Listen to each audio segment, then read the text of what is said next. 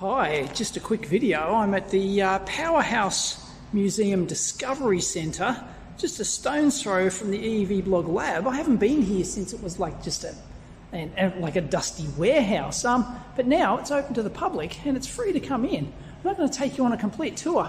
Just wanted to show you.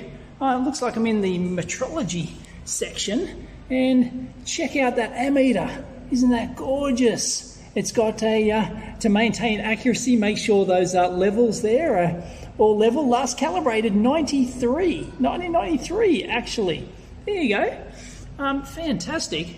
And look at this, AC to DC converter for use with precision DC potentiometer. Wow. and this, I love this. Look at this. This is gorgeous. It looks like a, uh, a bridge and we're not wrong, it's a precision resistance thermometer bridge, Leeds and Northrop Co., Philadelphia, made in the United States of America. And this is uh, knob heaven. Look at the decades there. So two, four, six, eight, ten decades. Ten, oh no, sorry, yeah, two, four, six, eight, nine decades by the looks of it. And all the connections up the top, isn't that great? Wow and that's an ozone monitor. And what else have we got? I don't know, they look like a polar planimeter, planimeter? Don't know. And for, and then we've got various thermometers here. Check that out, very cool. I like that, it's gorgeous. And uh, yeah, if you want to see the backside, backside of that bridge, isn't it fantastic? They've got a Facit. You know, I've done a teardown of one of those uh, Facit machines, and oh, hey, they've got a HP 45, HP 45 in the museum. a lot of people crying right now at uh, slide rules and whatnot. But uh, yeah, very cool. That's a barometer. All sorts of cool stuff here. They got uh, caliper set and what do we got over here? Ultrasonic neuroscope. Fantastic. And for all you tech aficionados, look at that. 502A uh, dual beam jobby. There you go. Wow, with nice clear sides on it. So obviously it wasn't uh, factory like that. Sorry, it's very dark and dim in here. shooting this on my shoe phone. Got a Rockwell Rockwell, um, is it a calculator, tabulator thing? Don't know. But yeah, anyway, lots of cool stuff here. And uh, don't know where the uh, kids are, but anyway, there's a dolphin. Um, that's a real dolphin.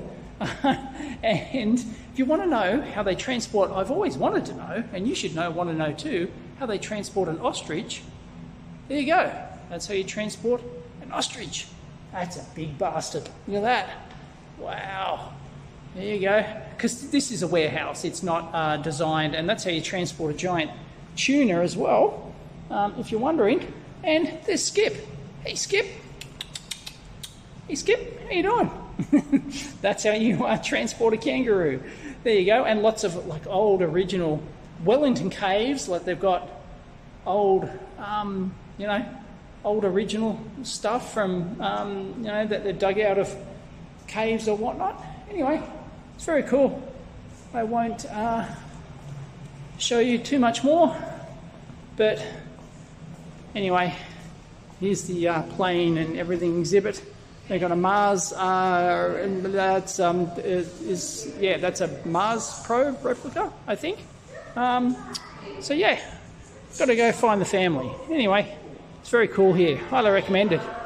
Okay, I was hoping to find the much coveted Apple One, but uh, all I got because the Apple One was on the uh, like the big poster thing on the main road. It's one of their um, treasured things in their collection, and all I've got is an old Compaq portable. Uh, I've got a Commodore Jobby. Um, is that a no, is that, oh, that looks similar to the um, Aussie one that I had. And they've got half a Sinclair ZX80. Half. They've just got the top shell I mean, I, do, I was just playing that the other day at home. There's Donkey Kong Jr. I've got that. Um, yeah, I don't know. Has somebody stolen the Apple one? It's got to be somewhere else. Anyway, anyway old camcorders. There you go. Um, instruments for all you Meccano aficionados. There you go. Beautiful. Oh, yeah, that looks gorgeous. And there's Mrs. EEVblog. Smile. and the Huckster. And there's a very cool um, cutaway engine down here, which I can show you. Uh, maybe not, it's too dark. And there we go. There's a test sample for an ordnance um, drop. They dropped it onto steel plate to see how it would react. But oh yeah, can't see it. Oh yeah, there you go. Nice cutaway engine model. Pretty terrific. Anyway, catch you next time. Oh no, hang on. There you go. For you uh, engine aficionados, look at that. It's pretty great. Now I'll catch you next time. This is EEVblog. There she is. Let's stalk Mrs. EEVblog. I don't know. there she goes. Bye.